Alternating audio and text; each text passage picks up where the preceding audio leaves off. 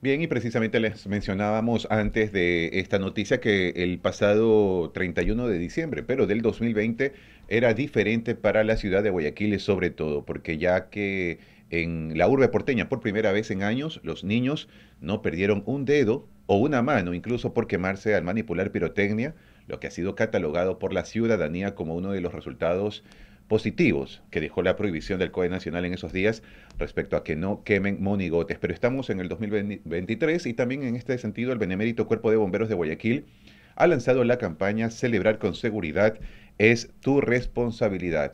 El objetivo, fomentar la conciencia sobre los peligros asociados precisamente con el uso indiscriminado de pirotecnia y también promover alternativas seguras para las festividades en Ecuador. Estamos ya con el capitán Hans Huerta, él es subcoordinador de prevención de incendios del Benemérito Cuerpo de Bomberos de Guayaquil. Hans, buen día, bienvenido a Un Noticias, se le saluda Javier Méndez. ¿Qué tal? Buenos días, Javier, muchas gracias por la invitación. Cuéntenos, Hans, eh, cómo se va desarrollando esta campaña Celebrar con Seguridad es tu responsabilidad si bien es cierto, responsabilidad también de las familias, de los padres de familia y también de los menores de edad y adolescentes, ¿no? Para que tomen conciencia, sobre todo en estas fechas, del uso indiscriminado de la pirotecnia. Así es, es una campaña de concientización para que llegue a los padres de familia y que puedan educar a los menores, más que nada de los riesgos que se tiene cuando manipulan estos artefactos explosivos, ya que se tiene en, se podría decir, la ciudadanía una tradición muy enraizada de utilizar artefactos explosivos, no importa su procedencia, sea industrial o artesanal, pero el contenido es el mismo, es pólvora.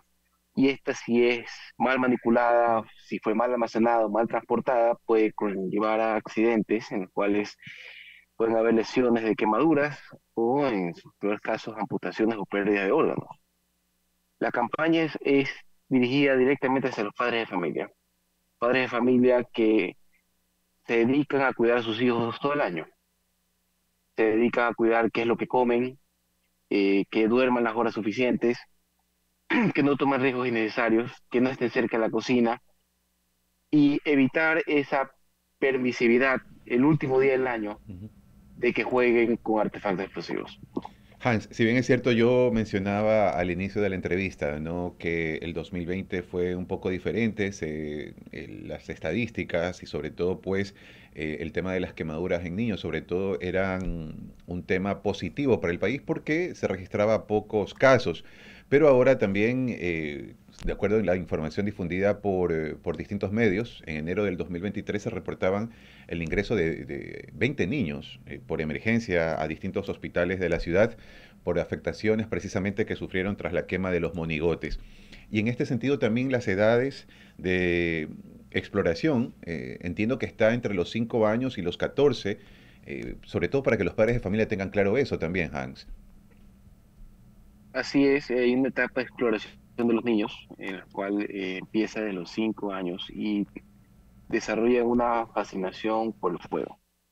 Y cualquier persona que haya sido niño probablemente lo vivió, eh, que eh, durante esta época ah, querían ver cómo se, el fuego se desarrollaba y, y que cómo, cómo terminaban combustionándose ciertos artefactos. Las estadísticas no nos mienten esas estadísticas son de dos hospitales.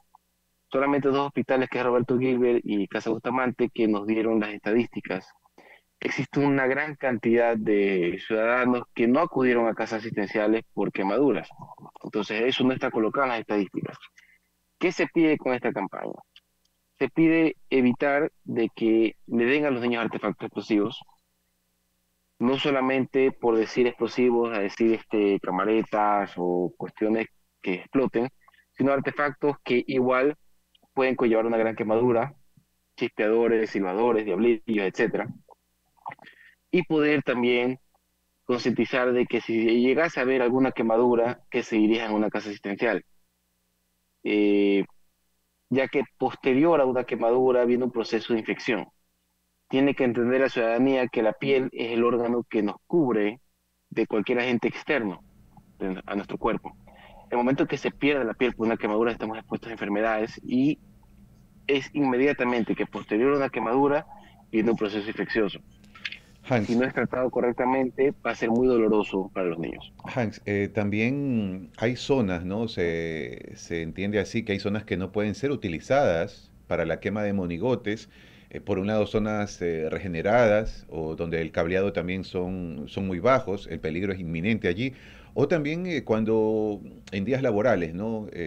se queman monigotes en, en empresas y puede haber el peligro por zonas donde hay maleza seca que podría ocasionar incendios eh, gravísimos, Capitán Hans. Así es. Por ordenanza municipal es prohibido quemar en zonas regeneradas, en zonas que en las cuales han sido eh, modificadas y que no son totalmente asfaltadas. Hay que también caer en conciencia de que si se realiza una quema de un monigote cerca de un lugar, un terreno baldío donde la maleza se encuentre seca, es muy probable que se desarrolle un incendio eh, de este tipo y después sea más difícil poder controlarlo. De igual manera, se sugiere a aquellas personas que, aún así, indicando varias veces que no hagan la quema del monigote, no lo hagan debajo de tendidos eléctricos, de cableados, cerca de postes o cerca de vehículos. Que no utilicen líquido combustible para iniciar eh, que, eh, la quema del monigote. Y también se pide, se pide que en los casos de que realicen estas quemas, que por favor, al finalizar la quema del monigote, saquen una manguera del jardín o saquen un balde de agua y mojen las brasas. Ahora, eh, Generalmente las brasas eh, quedan combustionándose, puede venir una corriente de aire, transporta estas brasas hacia otro sitio y se desarrolla el fuego en otro lugar. O continúan combustionándose y los niños se acercan a poder eh, quemar esos últimos artefactos explosivos que no, no, llegaron a combustionarse con el monigote. Se acercan, lo cogen y explotan sus manos. Y, empezar, y, y, se puede decir que durante ese momento es el momento donde menos están supervisados los niños. Capitán Huerta, también por otro lado, dentro de esta campaña se aborda el impacto y sobre todo también esa concienciación ¿no? que tienen los explosivos en las, en las mascotas. Eh, también pues se ha trabajado en aquello. Así es, eh, hace varios años, creo que hace 12 años ya existe una campaña del Benemérito Cuerpo Bomberos Guayaquil enfocada hacia las mascotas, enfocada hacia los efectos de los altos decibeles por las explosiones que causan los animales, donde estos eh, se desorientan, eh, huyen del hogar y después no logran regresar y en algunos casos se deshidratan y mueren en el proceso. Entonces, eh, se han desarrollado campañas en las cuales se puede adiestrar un poco a la mascota eh, mediante una técnica que se llama Safe Hug, brazo seguro, que lo puede realizar con una bufanda, con una manta, en la cual eh, hace una clase de abrazar a, la mascota desde el cuello hasta el abdomen con una manta. Esto se tiene que hacer varias veces antes del 31.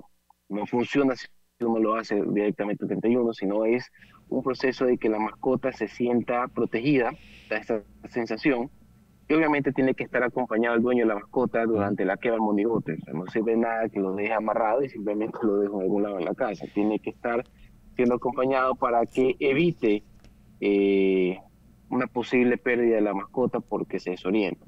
Sí, son de los que más sufren, definitivamente.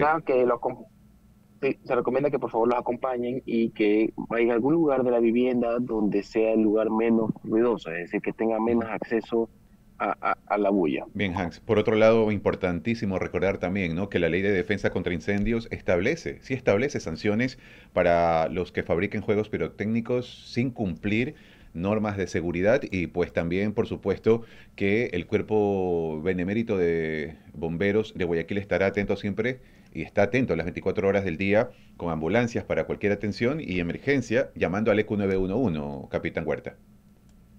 Así es, el único número de emergencia es el 911. El Bombero de Guayaquil está dispuesto las 24 horas del día, 35, 365 días al año, para poder atender las emergencias tanto el personal rentado como el personal voluntario, así sean durante festividades. De igual manera, se invita a que a través de este número puedan denunciar de manera anónima, si desean, aquellos sitios donde elaboran estos artefactos explosivos para poder enviar esa información a las autoridades competentes que se encargan de decomisar esta clase de productos. Recuerden que Si llegase a ocurrir un incidente, eh, la explosión no solamente llegaría a afectar la casa donde la fabrican, sino casas aledañas. Muy bien, muchísimas gracias, eh, capitán, y pues de antemano que tenga unas felices fiestas. Muchas gracias, felices fiestas también. Gracias al capitán Hans Huerta, subcoordinador de prevención de incendios del Benemérito Cuerpo de Bomberos de Guayaquil, hablándonos sobre una campaña de prevención importantísimo para la ciudadanía en estos tiempos en contra de uso de explosivos y juegos pirotécnicos.